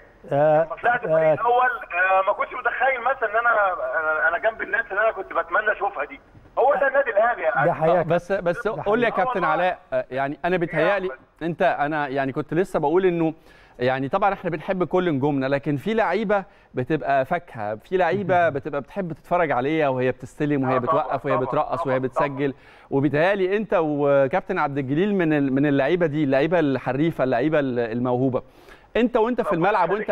ده لا دي مش يعني يعني شهادتي فيك مجروحة يا كابتن علاء. انت يعني واحد من. لا، علاء موهوب ده. ده ده ده حاجة كبيرة جدا عند كل جماهير النادي الأهلي. بس أنا عايز أعرف الحريف في الملعب بالذات لما يبقى كابتن كبير في النادي الأهلي لما بيشوف حد كورته حلوة آه، داخل عليه في اللي طالع من من الناشئين أو لسه بيبتدي مشوار آه، بيتعامل معاه معاملة مختلفة بيديله نصايح بيديله. توجيهات بي بي بي- بيشتغل عليه إزاي؟ على طول يا أحمد. أنا لسه كنت بقول لك أنا لما طلعت كنت اما لما لعيب كبير يكلمني أنا مش عايز أقول لك أو ينصحني أنا مش عايز أقول لك بعمل إزاي آه. بص يا احمد انت اللعيب الحريف عينيك بتروح له أيوه بتحب تتكلم معاه بتحب تشوفه بتحب تقول له آه، لو في حاجة بتحب تديله نصيحة. بص يا احمد اللي إحنا اتربينا فيه في النادي الاهلي والله مش عشان مش عشان أنا كنت في النادي الاهلي أو مجاملة صعب تلاقيه في حتة تانية مم. صعب تلاقي حد كده بيطلع انت بتاخد بإيده وفي وقت عايزك يبقى أحسن منه يعني انت فاهمني؟ أيوة. يعني هي هو ده النادي الأهلي عشان كده النادي الأهلي نادي مبادئ نادي أخلاق بيعلمك حاجات كده من غير ما حد يعلمها لك انت بتشربها لوحدك. صحيح لما اللعيب الكبير بياخد بإيد اللعيب الصغير هي بتبقى عارف عادة فيا. ما أنا فاكر أول ما لعبت حقيقي. حد برضو اللعيبة الكبيره اللعيبة الكبيرة كلها يا أحمد عايزاك تبقى بص يا أحمد اللعيبة عايزاك تبقى كويس. هو ده الفرق. مش عايزك تبقى وحش أنا عايزك تبقى كويس. صحيح فخلاص علاء بي بي بيستلمها من نجم كبير بيسلمها لعبد الجليل عبد الجليل بيسلمها لحد تاني. عشان كده النادي الأهلي يا أحمد يروح جيل يجي جيل اجيال تمشي النادي الأهلي موجود النادي الأهلي ببطولاته البطولات العظيمة اللي أنت عمال تحصد فيها دي من زمان مش جاية كده صدفة. لا صحيح. ده جيل بيسلم جيل بيسلم جيل بيسلم جيل على أسس وعلى مبادئ وعلى إن هو أنت مع أنت أنت عارف أنت موجود فين. هو ده اللي ده اللي بيفرق يا أحمد بين أي حد في-. أندية ثانية والنادي الأهلي أنت حقيقي. عارف موجود فين فأنت مقدر المكان ده عشان كده الناس كلها فاكرة عبد الجليل عبد الجليل كان ربنا يخليك يا كابتن. طبعا، آه طبعا. بعدين انت ممتعني في التحليل والله يا كابتن علاء لأن انت بتاع كورة راجل بتاع كورة والله حبيبي يا كابتن لا أنا مش عايز أطول عليكم يا أحمد أنت معاك سعداء- سعداء. حريف وحاجة ممتعة جدا حبيبي يا كابتن. وأنت جلجل معاك كمان أحمد سمير حاجة ممتعة الله. يخليك يا كابتن علاء. ربنا صح. يخليك صح. جميل يعني فكل سنة وأنتم طيبين وأنت. طيب يا كابتن. وانت طيب حبيبي يا أحمد ميرسي يا كابتن علاء. يا كابتن. شكرا. شكرا كابتن علاء والله أصل ده مثل الأعلى ده. آه. أنا في 84 كنت بتفرج عليه آه، لما جاب الجون في المصري. أيوه. أنت كنت بتتفرج على مين؟ الأول قبل ما تنضم للنادي الأهلي أو قبل ما بتلبس فانات النادي الأهلي مين الناس اللي حببتك كورة؟ آه، هو في غيره. كابتن خطيب. بيبو. يا لهوي أنا آه. كنت في ماتش المريخ في الدوري. يعني أنا عايز أقول لك في جيل اتظلم إنه ما شافش كابتن خطيب في الملعب. يعني أنت عارف يعني النهارده مثلا بتتكلم على الجمهور اللي عنده مثلا آه، 20 سنة لا 18 بس سنة. بيشوفوا جوان طبعا آه آه. لا بس, بس, يعني لا ما عصروش الوقت اللي هو كان بيلعب. يعني أنا آه، كنت آه. في الاستاد خطيب مش إجوال بس يعني ماتش ال- المريخ ده واحد هدف له برتقانايه قاعد أنت الحاجات دي كن- كنت بتشوفها بتنبهر بيها. أيوه. آه لما كان مثلا آه ينزل واحد من الجمهور وال- والشرطة يروح جاري هو آه. جسم الواحد بيقشعر أيوه. بالحاجات ديت أنت فاهمني؟ وبعدين لعبت بقى مع مين؟ مع الكابتن طاهر أبو زيد. طبعا. كابتن علاء ميهوب آه، كابتن بدر رجب. لا لا لا. آه، حاجة في الكورة بتقعد تتفرج عليهم وهم بيلعبوا. بعدين طلع عليك وليد صلاح الدين ومعاك عمرو أنور ومعاك عادل ومعاك هاني رمزي. لا ما مش عايز أنسى حد. والله يا أحمد زي ما الكابتن علاء بيقول جيل بيسلم جيل بيسلم جيل وبتنصح. يعني بتتكلم. بس خليني أقول لك ال- ال- ال- الموهبة الحرفانه يعني مم. قلت شوية في في في ال- في الجيل الحالي يعني آه، قلت كتير. آه. قلت كتير والواحد ما بيصدق. يشوف واحد يلعب لعبة حلوة. يعني مثلا كرة قفشة اللي جابها الجون الثاني في نهائي أفريقيا في آه السعوديه وهو بيحطها على فخده بقول يا سلام لو تلطش هي لطشت. ولطش. آه. ما أنت قاعد بتتفرج. أيوه. النهارده في ماتش بيراميدز وأنيمبا مم. قبل ما أجي لك أيوه. واحد واحد ده اللي خلص. آه. آه. الجون بتاع إبراهيم عادل قطع الكورة. أقول له يا ابن الذين لو حطيتها lob أقسم بالله راح أعملها lob. راحت داخله في الجون. عشان أنا جبت جون زيه في بطولة أفريقيا. امم في أهلي الاتحاد الليبي. أيوه. هناك. آه، على ال 18 وعملتها chip. دخلت lob. بس ما كانش بقى في بين سبورز الإذاعات أيوة. والحاجات دي يعني ما حدش شاف الجون ده. أيوه. فهو بيعمل فالواحد ما بيتصدق يشوف يا أحمد والله لمحة. لعيب يعني مثلا الكرة كانت تيجي الواد وليد صلاح الدين ده. إيه ده؟ إيه ده؟ بتفهمش شماله من يمينه. لما تيجي لحازم إمام هو بيلعب. برضه أيوة. ما تفهمش شماله من يمينه. عبد الستار. عبد الستار صبري. آه. علاء ميهوب ده كان في ثانية في ثانية يشق على الجون كده. لا بيجري كده ولا بيجري كده الجون أهو. القصة فين؟ يعني يعني أنا ما عنديش شك إن في موهبة بالظبط يعني يعني أنا متأكد إنه ال 100 مليون في منهم خطيب وفي منهم آه. وليد وفي منهم عبد الجليل وفي منهم طاهر أبو زيد وفي منهم علاء ميهوب في منهم حريفة كتير بس ال- المشكلة فين وعلى فكرة ده مش بس مش بتكلم على الأهلي أنا بتكلم على الكوره في مصر بشكل عام أنا آه. في قطاع ناشئين بقى لي خمس ست سنين أيوة. في لما بشوف بس لمحة واحد بتشم كده إن هو بيجي منه بتقعد تقول له اعمل كذا واعمل كذا واعمل بتنمي عنده الحتة دي. مم. آه أغلب اللعيبة أحمد مصنوعة دلوقتي. آه. أو مجتهدة. يعني أيوة. بيجتهدوا في الملعب. يعني لكن مش مش مفيش. الموهبة الفطرية. لما آه، تشوف واحد كده بي بيقطع كده مثلا ويدوس على الكورة مثلا ويحطها مثلا وهو بيجري. يا سلام. تسقف. بتشوف حاجات كده في لعيبة معينة في الدوري المصري بتقول لا الولد ده لعيب كورة. دماغه فيها الكورة في حد حوالينا في. يعني لو انت بتبص على بطولة دوري الأبطال امم مثلا يعني مين ال- اللعيب اللي في ال- ال- الفرقة اللي كانت موجودة في البطولة بتحس إنه عنده الكره دي مين اللعيب اللي نفسه نفسك أنت شخصيا مثلا إنه اللعيب ده ممكن في يوم من الأيام يلبس تيشيرت. النادي الأهلي آه حمدي الهوني حمدي الهوني الترجي التونسي لعيب من آه، الحاجات بتاع طارق التايب آه. و... هو ليبي أساسا هو ليبي برضه آه. سبحان الله آه. لا لا لعيب كورة تتمنى إن يجي النادي الأهلي. مم. عندهم أنا كنت لسه هقول لك إن الترجي عندهم ثلاث لعيبة رخمين. حمدي الهوني بن رمضان ده هداف و tackling وبيدافع وبيهاجم. بن رمضان ده هداف. الفرقة. أيوه. ولابس 8 جاب جون أعتقد في ماتش ال- اللي فات؟ الماتش امبارح.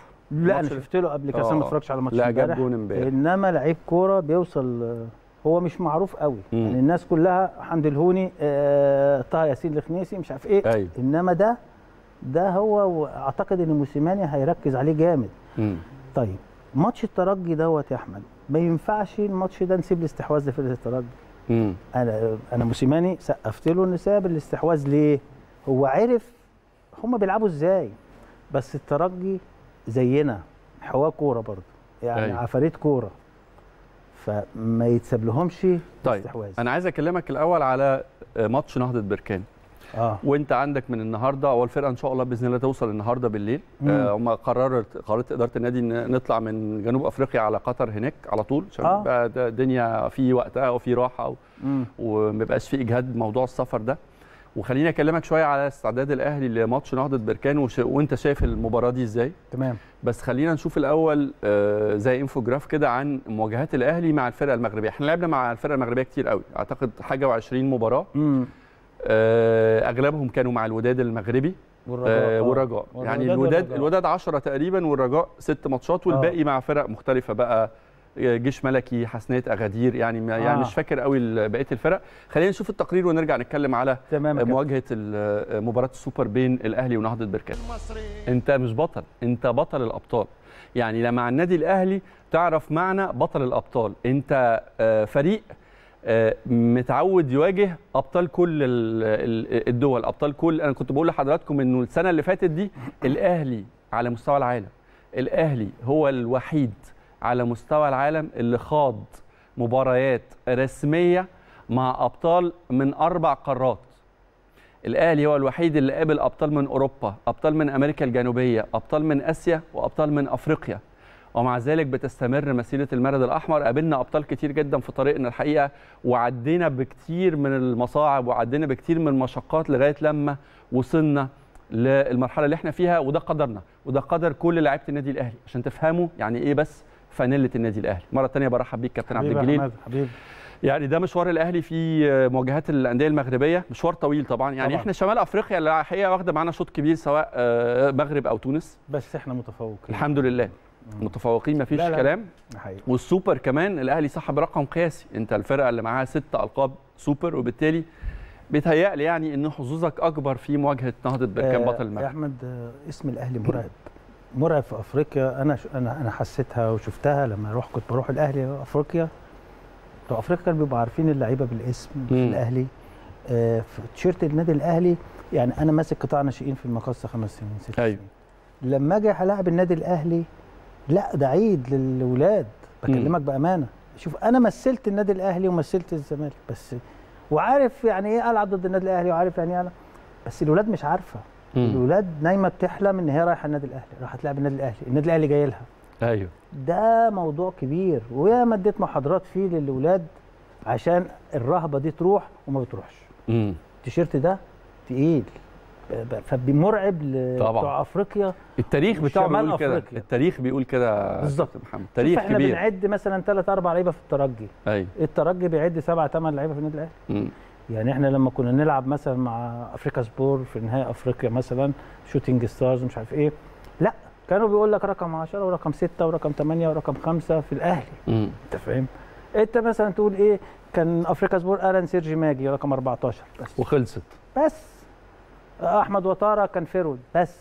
إنما هم يقول لك جليل يقول لك أبو زيد يقول لك ميهوب يقول لك مش عارف مين مين مين مين. ليه؟ ده هو النادي الأهلي بجد. مرعب لل- للفرق. آه، النادي الأهلي لازم يستفاد من ال 30% الرهبة بتاعت نهضة بركان دي. اوعى. تفتكر إن نهضة بركان دي مش عاملة ألف حساب للنادي الأهلي. أيوه. آه إحنا شوف عاملين حساب لنهضة بركان. آه مش هو الفريق الواو مش هو بطل المغرب قوي يعني زي الرجاء زي الوداد. والموسم بتاعه السنة دي مش مش حاجة قوي. عظيمة مش يعني. قوي. آه آه. آه. حتى لما كسب بيراميدز بجون كده آه. وقبل كده الزمالك متهيألي كسبه في النهائي. فمش ده الفريق اللي تخاف منه ولكن قدر النادي الأهلي إنه بيعمل حساب للصغير قبل الكبير مم. وده اللي لازم بيعمله ليه بخاف أنا بس من من من الماتشات اللي بتتحسم أو البطولات اللي بتتحسم ماتش واحد دي يعني ماتشات الكؤوس دي آه عارف دايما إيه بتبقى فيها فيها مفاجأة والله. آه ده إحنا عتاولة فيها مطمن أنت يا كابتن محمد لا جدا لا اصل آه. آه. آه نوعية اللعيبة بتاعت الأهلي بتعرف إزاي تخطف مم. يعني هقول لك على حاجة آه الراجل في الماتشين أيوه. فكرني فرقة سان داونز فرقة مين زمان؟ الإسماعيلي. امم هم بيلعبوا بكرة برازيلي كده. خرابي يا آه. كابتن على العجوز وفكري و... آه. والله يرحمه آه، حازم وعماد سليمان أقسم بالله يا احمد كانوا يدوخونا بالكوره زي بتوع سان داونز. تك تك تك. وإحنا نصبر نصبر ونروح. تك لادعين الدوري ولادعينها وخلصنا الليلة. آه. أنا مش أنا فاكر ماتش اسكندرية 4 3 ده. فالإسماعيلي زي صن داونز كده. فانت النادي الاهلي بيعرف إزاي يكسب. آه سيبك تنقل ويعمل وي بس في لحظة انت عندك لعيبة عندها مهارات. مم. والمهارات دي مش مش موجودة في فرق كتير. أيوه. يعني الجون اللي جابه طاهر آه، اللي هنا. آه في الماتش بتاع القاهرة آه، الهجوم يعني الأولاني. آه يعني الكرة ناحية الشمال طاهر لسه ما جاش على. فكرة. يعني أنا بشوف طاهر في حتة تانية خالص. يبقى حظه وحش. وحاطط حاطط أمل كبير جدا على طاهر. هو لعيب كبير. أيوه. ولعيب كويس قوي بس هو حظه وحش إن في الاثنين ثلاثة اللي جنبه مش مش فايقين شوية. آه. يا عم حسين يا شحات فوق شوية. آه، حسين صعبان عليا قوي. يعني بس كويس إن قعد شوية إن شاء الله هيرجع قوي قوي. تقول إيه لحسين؟ يعني حسين من اللعيبة الحريفة برضو آه آه، ما يحطش ودانه مع الناس. ما آه. يحطش ودانه معانا. يا حسين أنت لو مش لعيب كويس مش هنقعد ننقدك ونقول لك يا حسين لا أنت عندك أحسن من كده. حسين كان في المقصة. ويعني إيه حسين الشحات ده لما بيفوق بيفوق فرقة. يعني آخر جون بتاع الدحيل ده اللي هو أنا أيوة. بقيت أقعد وأنط وأقوم وقعدت بتاع فيه. اللي كده وكده ده كان آه، الرجاء. ما- دي حاجاته. آه أيوه أيوه. الرجاء والدحيل في والدحيل هناك في- آه. ما دي حاجاته. طب أنت مش عايز تعملها ليه تاني؟ اعملها وتتقطع يا عم ما تقلقش. بس اعملها حسسني. حسين دلوقتي بيروح يا احمد على واحد ضد واحد بيروح لافف وراجع. ما هو انت لعيب كورة. تعرف ان هو مش عايز كان الأول يروح تك تك تك ويعدي. تتقطع بقى يعدي تخبط في رجله تعدي كان عنده الثقة. هو الثقة رايحة منه دلوقتي. اللعيب لما الثقة تروح منه يستعيدها إزاي يا كابتن محمد؟ يست... بالظبط. يدوس على نفسه. تمرين. يقفل ودانه. واحد ضد واحد هو عنده ميزة فيها. روح يا حسين. روح وتتقطع منك ما يجراش مالكش دعوة. بس روح. لو عدى مرة واثنين هتيجي. دي هتيجي وهتيجي. أنا فاكر كويس كنا في وسط لعيبة عمالقة. مش هقول اسمه. لعيب كورة إيه؟ حكاية في التمرين. مم. حكاية في التم... لعيب كورة. آه. فبقول له أنت يا كابتن يعني لا شفتك بترمي سروف في ماتش ولا بت... إما أجي لك أنا أنا صغير في السن لقيتك بتحطها لي في رجلي. يقول لي أنا بتشتم وأنا قاعد على الدكة. فيا عم اغلطوا أنتوا مش مهم. هي دي الثقة. أنا آه. كنت آخد الكورة وأروح. مم. تتقطع بقى ما تتقطعش الجمهور يزوم عليا ما يزومش. العب لعبك يعني. آه لا بروح لعبة. أعدي من واحد وأعدي. مرة تيجي ومرة اتنين تلاتة بتتقطع. مش مهم بس حاجتي اللي أنا بحبها. أيوه. طريقتي.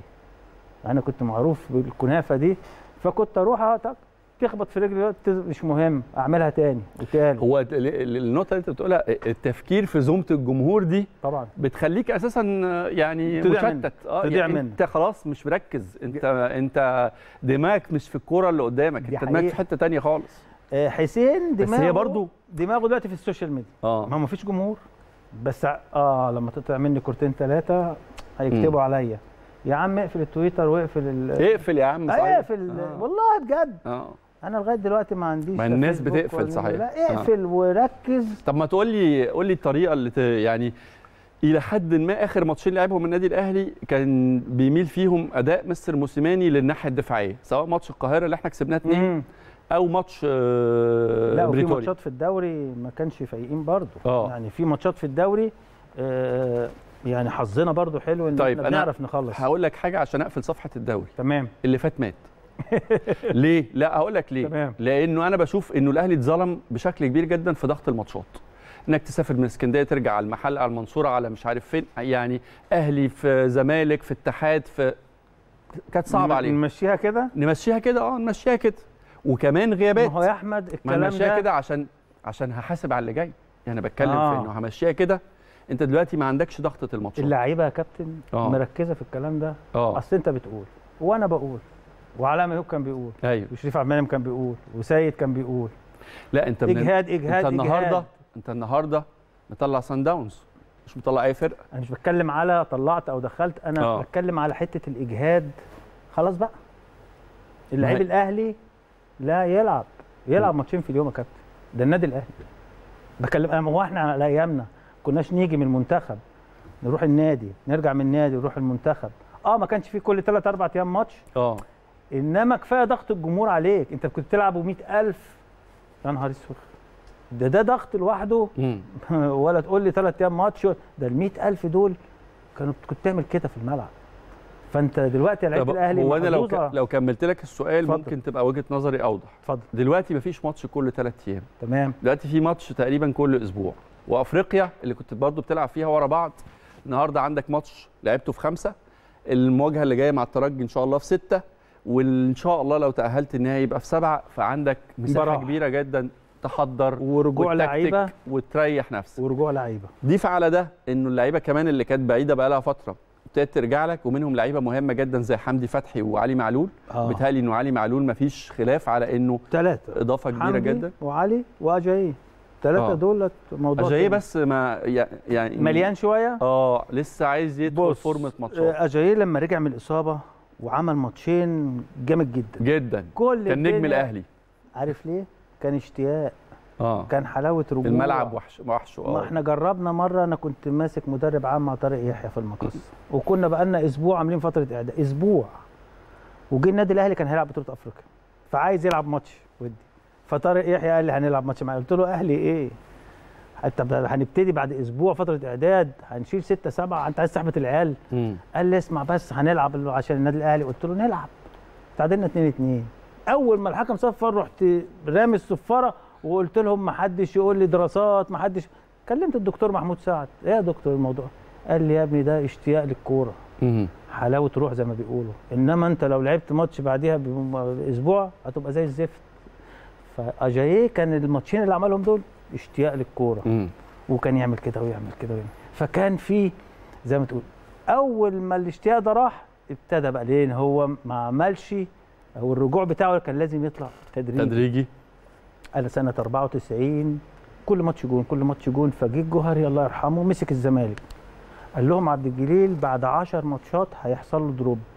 فهو ما فهموش الناس فبيقولوا له ليه؟ قال لهم هو نهى الدوري وطلع فورمة عالية قوي. مم. فعلا. أنا كنت ناهي ماتش المحلة الجون اللي على الطاير نهائي الكاس. آه. وكنت عامل الموسم نهائي ولضمنا على طول في الدوري فكنت أعلى فورمة يمكن في مصر ساعتها. مم. وفعلا 10 ماتشات ولقيت نفسي بعمل كده لوحدي. وأنا مش فاهم في إيه ولا بسهر ولا بتنام بص فسألت قالوا لي أنت كنت وصلت فورمة عالية قوي فلازم تنزل لك حصل لك drop. فاللي حصل لاجايي كده الماتشين دول كانوا wow. بعد كده مش عارف يجيب نفسه شوية شوية شوية ويتصاب ويرجع ويتصاب ويرجع.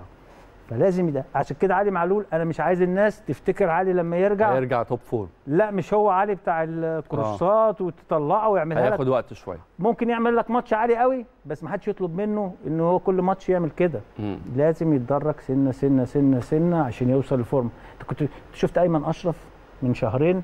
كان أعلى فورمه في مصر. ما أنا كنت بقول ده في. بداية الحلقة. أيمن. وهاني أيمن وهاني. ومحمد هاني. آه برافو عليك. آه ومحمد هاني. كل ماتش ساعة ما رجعوا لسه البلاستر اللي على الرجل ده أنا بحس يعني إن هو متكلبش. أنا حاسس بيه عضلاته مش شايلاه. أيمن فورمه ال drop بتاعه ده عشان إجهاد زي ما أنت بتقول. مم. آه شبع شوية لأنه كان مستواه عالي قوي. هو ومحمد هاني. فما يقلقوش. ده يعني أسبوع 10 أيام ويرجع تاني للفورمة. الله عادي إن. شاء الله. طب أرجع لسؤالي مرة تانية اتفضل الم... الطريقة اللي لعب بيها مستر موسيماني تميل أكتر لأنها ناحية تميل للناحية الدفاعية أكتر منها كرة كرة الأهلي اللي إحنا متعودين عليها. هل أيوة. تتوقع إنه يلعب ماتش نهضة بركان بنفس الطريقة ولا هنشوف أهلي مختلف؟ لا هتشوف أهلي مختلف. آه شمال أفريقيا ما, ما سيبلوش استحواذ ابدا. آه. لا شمال أفريقيا حتى لو آه، بني دعبس من أي بلد في شمال أفريقيا. كلهم قرود كورة زينا. يعني مغرب جزائر تونس فيهم الطبع بتاعنا. فلو سبت له استحواذ هيفرمك. يعني واحد ضد واحد في نص الملعب. لازم انت اللي. أغلب ماتشات الأهلي مع الترجي اللي كنا بنكسب فيها هناك ثلاثة ورادس وأنت فاكر.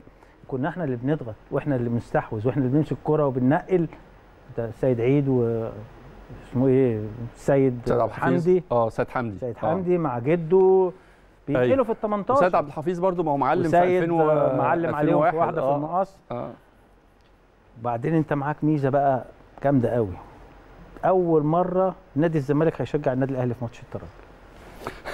لا لا لا لا أنا بكلمك بقى أنا قعدتي مع ناس زملكاوية كتير قوي. آه آه. بقول لك آه والله هو هم اصل اتقرصوا من الترجي إيه، شوية وزعلانين من أنت الترجي. بتزعلني ولا بتفرحني؟ لا أفرحك لا هو نفرح لما أعرف إنه العادي إنه الزملكاويه يشجعوا الأهلي قدام الترجي لا مش العادي قوي يعني آه، ما أنت آه. عارف أصل لو ما فيش الشطة بين الأهلي والزمالك آه. وشويه الكهرباء دي. آه بس, بس الشطه بأدب. الشطة دي بيننا وبين بعض هنا. آه. يعني أنا ما شجعش الزمالك وهو بيلعب مع الإسماعيلي ولا شجعش الزمالك وهو بيلعب مع بيراميدز. لا لا. لكن ما لكن لما الزمالك يطلع يلعب بره أنا طبيعي إن أنا هشجع أنت هتشجع الزمالك. وأنا هشجع. آه. إنما في ناس ما بتشجعش. يا احمد آه. فالنهاردة ان بس ده ابن بلدي في الآخر مهما كانت المنافسة بيني وبينه. إيه بلا ابن بلدي بلا آه. ابن عمي بلا ابن بص الكورة بين أهلي والزمالك على مدار كده. السنين أيوة. آه، ده, ده موضوع تاني بس دي حلاوتها يعني. أيوه. إنما أنا بقول لك هيشجعوا المره دي الاهلي من قلبهم إن هم محروقين شوية من الترجي. متضايقين من الفصل اللي عملوه بس الترجي هما أنا كنت برضو بتابع على ال social media كده هم عملوها في الترجي. يعني في ناس كاتبة إنه ده حصل برضو في الترجي قبل كده أو في الصفاقسي تقريبا. يعني من الزمالك؟ آه آه أنا حصل مش قبل كده. بجد؟ آه آه. آه فبيردوها يعني. مم. طب طلعنا من القصة دي. نطلع من القصة دي. آه وخلينا في ماتش الاستحواذ طب حط لي بتاع التشكيل. حط لي. التشكيل. الشناوي ربنا يحرسه. محمد هاني بنون آه ياسر. ياسر. أنا هتريح هتريح ربيعة؟ معلش. آه لأن آه. ياسر لو ما كانش جاب الجون وقبل كده طب خلينا نقف نقف عند خط الظهر. هنرجع له. آه. أو نبتدي خط وأيمن الظهر من. اول وجديد يمكن طيب. تغير رأيك. ماشي. بس نقول ألو تاني يا كابتن آه. محمد. ألو؟ ألو. أيوه؟ إزيك يا ابني؟ عامل إيه؟ مين؟ مين؟ مين؟ ده ما دويتو. عمرو أنور. دويتو يا كابتن محمد. يا محمود. إزيك يا بيبو؟ إزيك يا إزيك يا كابتن عمرو؟ يا؟ خراشي بقى أنا عرفت صوت الكابتن علاء ميهوب ومش عارف صوتك أنت؟ لا ده أنتوا بقالكم كتير ما اتكلمتوش بقى يا كابتن آه. عمرو ولا إيه؟ آه. الكابتن- علاء ميهوب نجم يا عم. بقالكم كتير آه، ما علاء كلمتوش ميهوب بعض. نجم صح. آه. إزيك يا عمرو؟ إزيك يا حبيبي؟ الحمد لله إزيك يا أنا؟ فعلا بقالنا كتير والله. إزيك يا كابتن عمرو؟ منورنا. ربنا يخليك لا بس بس واضح كده يعني هو لسه بيستعيد ذكرياته وماتش المحلة وال وال chip pass اللي انت وال chip pass اللي انت عملتها له. وبعدين. تقول له ألو ما ما يعرفش هو الصوت إحنا عايشين على الكرة دي أنا وانت بس ولا إيه؟ الناس مش فاكرة غير الكرة اللي انت عملتها لي وأنا حطيتها في ماتش المحلة. هي دي بس اللي فاكرينها لنا؟ الحمد لله الحمد لله إن هم فاكرين برضو إزيك يا حبيب منور؟ الدنيا يا كابتن الحمد عمرو. لله الحمد لله ازيك آه، انت عندك ماتش يوم 26 بالتوفيق إن شاء الله حبيبي. يوم الأربعاء اللي جاي. الأربعاء؟ آه ماتش فاصل في نادي السكة مع الزمالك طبعا. تتمرن أنت يا عمورة وربنا يكرمك حبيبي. يا رب يا مساء الحال إن دعوات شاء الله يا كابتن عمرو حلقة السادسة يوم الأربعاء آه هتكون بقى هنبتدي الحلقة بعد ما الماتش يخلص. إن شاء الله نتصل نبارك لك وتكون معانا على التليفون إن شاء الله بإذن الله. يا رب يا والله يا كابتن عمرو شهادة لوجه ربنا. أنا في قطاع الناشئين بقالي خمس سنين ست سنين. فريق 99 اللي أنت ماسكه ال 97 والله يا عمرو انت عامل معاهم انجاز. لأن أنا لعبت ال 99 دي من سنتين ثلاثة ما كانوش كده يا عمرو. ودي شهادة فعلا والله يا أحمد إن هو بياخد بيهم بطولة السنة اللي فاتت. لأن أنا كنت بلاعبهم دايما. أيوه. ما كانش بالقوة دي حتى فريق 97 بتاع. لما كان عمرو ماسك بصراحة. فده اشتغلنا سوا أنا وهو كمان في المقصة. مدرب كبير. والله أيوة. مدرب كبير كبير يعني. ربنا طبعاً. يكرمك يا عمرو. ورغم يعني في حدود معلوماتي كابتن عمرو إن في عدد كبير جدا من اللعيبة طلعت إعارات ورغم كده الحقيقة الفرقة ماشية ما شاء الله ما شاء الله يعني نمسك الخشب ماشية بشكل كويس جدا وإن شاء الله موفقين في حسم البطولة. آه. آه طبعا إحنا عندنا السنة دي قدرنا إن إحنا نطلع ثمان لعيبة إعارات آه. يلعبوا في الدوري الممتاز. فده طبعا عمل معانا drop جامد جدا مع وعمرو أحمد عبد القادر ده كان معاك في 99 آه آه ما ده واحد لعيب كبير قوي يا عمرو. السنة دي آه آه. وطارق فارس اللي عندنا ال back right على المقصه فارس آه فارس طارق، وشادي رضوان. أعتقد وشادي. وفخري و... وعربي بدر. فخري وعربي بدر ومحمد عبد المنعم ومحمد شكري وصالح آه. نصر. يعني لا ما أنا بقول لك ثمان لعيبه السنة دي طلعوا. بسم الله ما شاء الله. 99 بس. أيوه. آه غير الاثنين اللي هم بتوع ال 2001 اللي هو شادي رضوان وعربي بدر. فكل دول طبعا لا عملوا فرق جامد جدا ولكن الحمد لله لعيبة برضو بتوعنا السنة دي كانت مي- مين ده مين مين تقول اسمه دلوقتي وتفكر جماهير النادي بقى الأهلي بيه تقول لهم افتكروا الاسم ده كويس يا كابتن عمرو؟ والله أنا شايف دلوقتي آه، أنا شايف إن آه، أحمد عبد القادر آه سموحة. تمام. شايف إن محمد عبد المنعم. مم. أنا شايف إن الاثنين دول آه، يعني السنة دي عاملين موسم قوي جدا جدا. أيوه. ويعني في المستقبل ال- وخلي بالك والاثنين مواليد 99 انضموا للمنتخب الأولمبي اللي هو. أساسا مواليد 97 فده برضو أكبر دليل على كلامي. كان شكري كمان ماشي كويس جدا. بس لولا الإصابة اللي حصلت له والعملية اللي عملها دي عطلته شوية آه، فارس ماشي كويس جدا مع المقصه بيلعب المباريات كلها بشكل اساسي ساعه ما راح فأنا شايف لا في مجموعة كويسة جدا. يعني يعني إن شاء الله بإذن الله النادي يقدر يستفاد منهم كويس. إن شاء الله. زي ما زي ما حصل السنة دي كان استفادة فنية للعيبة واستفادة مادية للنادي. عن طريق الاعارات أنا شايف إن إن شاء الله في المستقبل اللعيبة دي هيكون ليها وضع كويس جدا في النادي. إن شاء الله. حقيقي. حقيقي سلام عليك يا صايد اللعيبة أنت وصائد الجوائز أنت والله. آه عامل لي فيها مصطفى حسين. ماشي. لا أنت مصطفى أنا مصطفى حسين أبو الاشبال آه صح. توفيق يا حبيبي. آه ربنا يخليك يا رب. حبيبي يا عمرو. موفق دايما على طول ويمكن أنت يعني زي ما أنت اشدت بال... بال... بال... بالمستوى التدريبي بتاعي أو إن أنا عملت طفرة مع مع فريق 99 أو 97 لا أنا برضو بقول للناس إن أنت عامل طفرة كبيرة جدا مع فريق المقصه ومع القطاع في نادي المقصه إحنا لعبنا المقصه على مدار السنين اللي فاتت دي في, جميع الأعمار. آه لا أنا شايف إن في شغل معمول كويس جدا وشايف الجهد بتاعك المبذول باين جدا. السنة اللي فاتت أنا يمكن بال يعني بال بالأخص السنة اللي فاتت وأنا قلت لك الكلام ده مم. لما في يعني فرقتين عندك ياخدوا تاني جمهورية أنا شايف إن دي حاجة كويسة جدا. ما كانتش حصلت قبل كده في النادي عندك.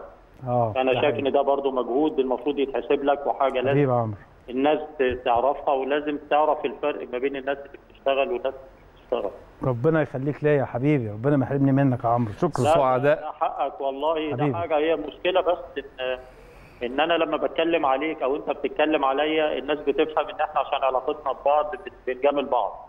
بس والله ابدا. ال- الشغل يا أنا عمرو مهما. جاملت يعني أنا مهما جاملت ومفيش نتائج على أرض الواقع الناس مش هتصدق كلام الواحد. صحيح. الحمد لله حبيبي. ربنا يخليك يا عمرو. آه. الواحد بيتكلم من واقع النتائج وبيتكلم من واقع التغيير اللي حاصل في القطاع الله يخليك. سواء على المستوى الفردي أو المستوى الجماعي. فهو ده اللي الواحد مشجع الواحد إنه دايما يتكلم إن الواحد ما بيتكلمش من فراغ لكل مجتهد. نصيب دايما يا كابتن عمرو.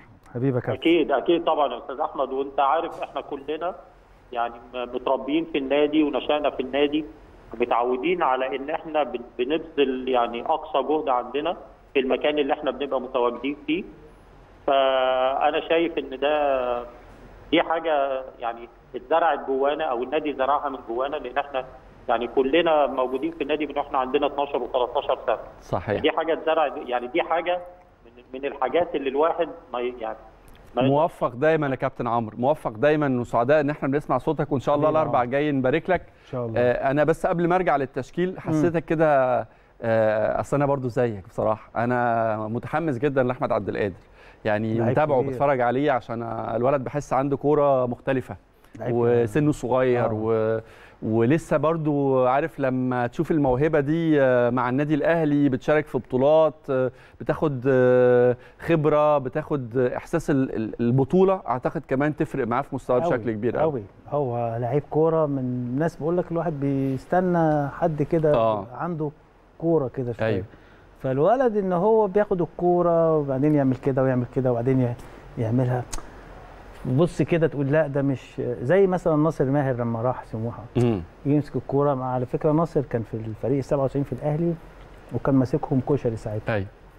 لعبناهم. كان لسه راجع من رباط صليبي وكان فرقة المقصه عملت له يافطة ونزلت له أنا الملعب قبل الماتش وكان كشري موجود يعني. قلت. له تعالى أنا أسمع إن أنت لعيب كبير قوي. فالعب ما تخافش وأنا منبه والله يا أحمد نبهت على لعيبة المقصه وكان ماتش يعني بنلعب على الأول أو الثاني أو أيوة. الثالث يعني مع. قلت لهم أوعى حد يخش عليه جامد سيبوه لأنه ده مستقبل هو الولد فاكر الكلام ده يعني لو انت دخلت مرة معاه قول له عبد الجليل ونزل لك الملعب وقال لك العب ما تخافش. أيوه. إنه كان راجع من ده, صليبي. ده انحياز الموهبة للموهبة ال- ال- الحلوة وده الجميل في أنا كرة أخاف هو الولد صحيح. خايف. أخاف واحد يروح deep داخل فيه كده. يبوظها له تاني. قول لي بقى تشكيلة عشان نختم بيه حلقة ماشي. نقول محمد هاني إن شاء الله. امم الشناوي طبعا محمد آه. هاني بنون آه، ياسر إبراهيم يعني تحيز كده شوية. مع إن رامي ده. العشق بتاع رامي ده. طبعا طبعا. جميل آه،. أيمن أشرف. تمام. طبعا مش هلعب بواحد قدام لي الاربعه لأن أيوة. أنا محتاج إن أنا اللي العب. كورة وأزيد. هيلعب السولية برضو إن شاء الله وديانج okay. قدامهم قفشة. أنا شايف إن أيوه. هيلعب بحسين الشحات. هيلعب بحسين الشحات. آه, آه. وهو لو لعب بحسين الشحات هو مدرب صايع. يبقى مدرب صايع. جامد. آه. آه لا لا يبقى تمام. مدرب ذكي. هو قرصه وقعده بس هو محتاج الحتة دي. وطاهر ناحية الشمال. وفي وشريف. قلب الشريف. وينزل بقى المعلم اجاييه و... وعلي معلول خمس دقائق كده. نتقابل دايما في السادسة وتشرفنا وتمتعنا دايما بكلامك كابتن محمد شرفتنا ونورتنا في السادسة النهارده. ميرسي يا احمد شكرا لحضرتك. وببارك لك مرة تانية وببارك لجماهير النادي الأهلي. المرة ال 17 في تاريخ النادي الأهلي تأهل لدور قبل النهائي في دوري الأبطال. نقفل صفحة دوري الأبطال نفتح صفحة سوبر أفريقيا موفقين. ومنصورين بإذن الله إن شاء الله ونزود في خزينة النادي الأهلي لقب سابع لقب سوبر إفريقيا إن شاء الله يوم الجمعة. كلامنا مستمر ومتواصل عن المباراة المهمة جدا على مدار الأسبوع. نقابل حضراتكم إن شاء الله بكرة حلقة جديدة والسادسة. تحياتي ليكم.